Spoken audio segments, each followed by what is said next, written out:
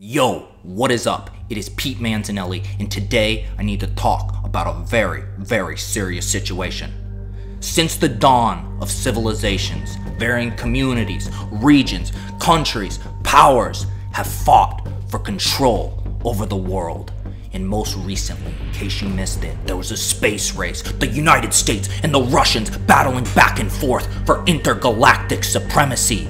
And of course, the nuclear arms race. Who could forget the US and the Russians, more recently North Korea in the Middle East, fighting to be leaders in deadly weapons. But today, I need to talk about a more serious global race. And this is something much greater than the moon or nuclear weapons at stake. It's poker. And the Germans have taken over. And they must be stopped! Just this week, we saw the conclusion of the Poker Masturbators events on Poker Go, and the Germans dominated the action all week, and specifically in the 100k final event. Steffen Goose on the Loose Sontheimers took first place, and he's German. Christian, I have the same name twice, Christner, second place, also German. Fedor, my mind is primed, Holz, third place. You guessed it, German. And this is before even mentioning Stefan, please don't try to pronounce my last name, Shalabables. Sixth place, German. They are a machine, okay? They cannot be stopped, and their powers should not be underestimated. When it looked like an American, Seth Davies, would make a run, what did they do? They used German mind control to get him to fold Pocket Kings pre flop. Who folds Pocket Kings pre flop? No one! No one! And the Germans got an American to do it. Something fishy is up. And what did they do to celebrate? Well, they decided to politely quietly eat delicious cookies provided by the Aria. Not only are the Germans taking over our poker, but they're trolling us and taunting us by eating cookies at the table. So, where does this leave us? It leaves the rest of the poker world lost, lonely, searching for answers, scared. Someone, anyone needs to rise up to seize the poker crown and dethrone the Germans. So, who are the options? Well, there's Philly Hellmuth, there's Daniel Negreanu, two great Amer. Wait, what's that?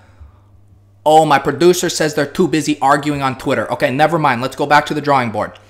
How about Scott Blumsteins, the American who took down the World Series of Poker main event, the biggest poker tournament in the world? Wait a second. I'm hearing he's now playing daily fantasy sports. Okay, never mind. Not Blumsteins. We'll find someone else. I got it, dude. The most famous poker ambassador in the world right now, Kevin Harts. No? Oh. Oh, okay. Yeah, no, we're gonna have to scratch Kevin Harts off that list too. No, we can find someone. We will find someone to take poker back away from the Germans. How about someone across the pond? How about Will Kassouf? What's that? What's that?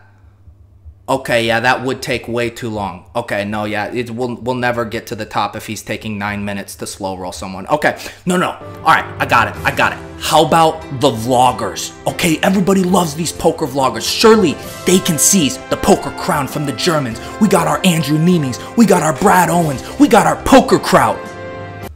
Wait, poker crowd's German? My name is Kevin, I'm 39 years old, and I'm from Germany, as you hear from my accent. What the fuck? We can't even. Okay, I got it. I got it. What about Jamie Staples, dude? He's looking svelte. He's taking down pot limit Omaha tournaments. Maybe he's our savior. What is that? He's got a girlfriend and he's in love now? So I flew from Calgary, and my girlfriend Rebecca, which is the exciting news, she flew from the UK, so she's here. God damn it! Who? We got. There must be someone. I, I just. I'm out of ideas. I just don't know. The Germans. They must be stopped. But wait. Wait one second. Wait. What if it. What if it was a group effort?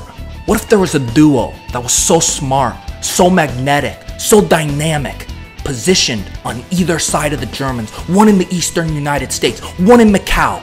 Two men who know how to crush poker at the highest level and leave a wake of destruction in their path. Now, I hate to be narcissistic, but I fear there's only one option, and that's your boy, Pete Manzinelli, and my dear, dear friend Tommy Dwans are our only hope to fight against the Germans in this race to poker supremacy.